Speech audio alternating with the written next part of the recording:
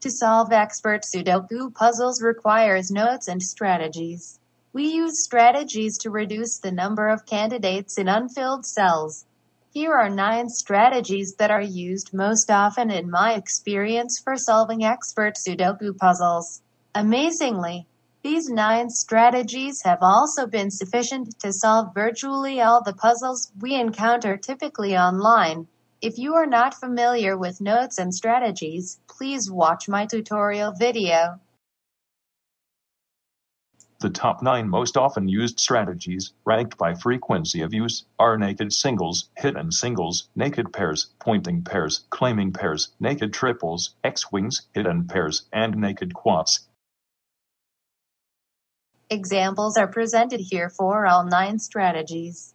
Each example was cropped from the screenshot of a real expert puzzle. Each strategy is described aided by animations.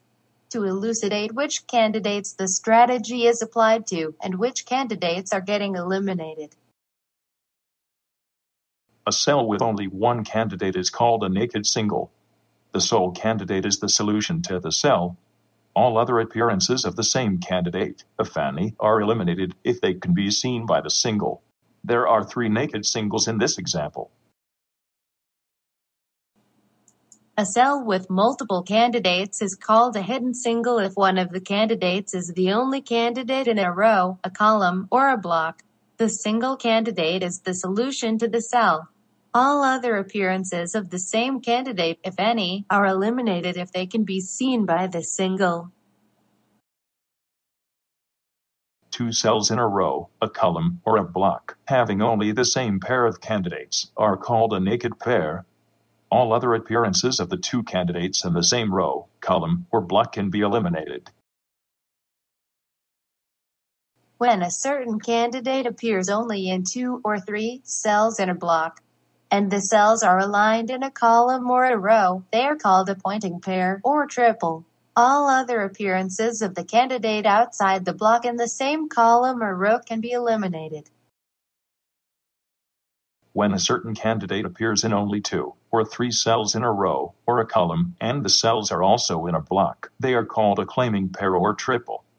All other appearances of the candidate in the same block, Afani, can be eliminated. Three cells in a row, a column, or a block having only the same three candidates or their subset are called a naked triple. All other appearances of the same candidates can be eliminated if they are in the same row, column, or block. When a candidate appears in four cells that form the corners of a rectangle or a square, and it appears only in the two cells in both rows, all other appearances of the candidate in the two columns, Afani, can be eliminated.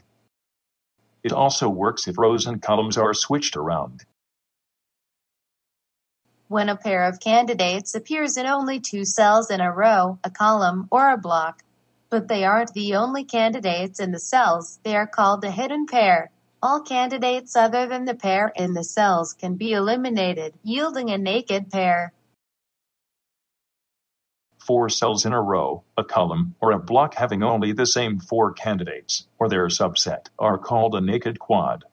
All other appearances of the same candidates can be eliminated if they are in the same row, column, or block. Armed with these strategies, solving a Sudoku is still not without challenges. The challenges are in pattern recognition. It takes a lot of patience and practice to spot the patterns among the multitude of candidates where the strategies can be applied to. Like everything else in life, the old adage that practice makes perfect also applies to solving Sudoku puzzles. Thanks for watching.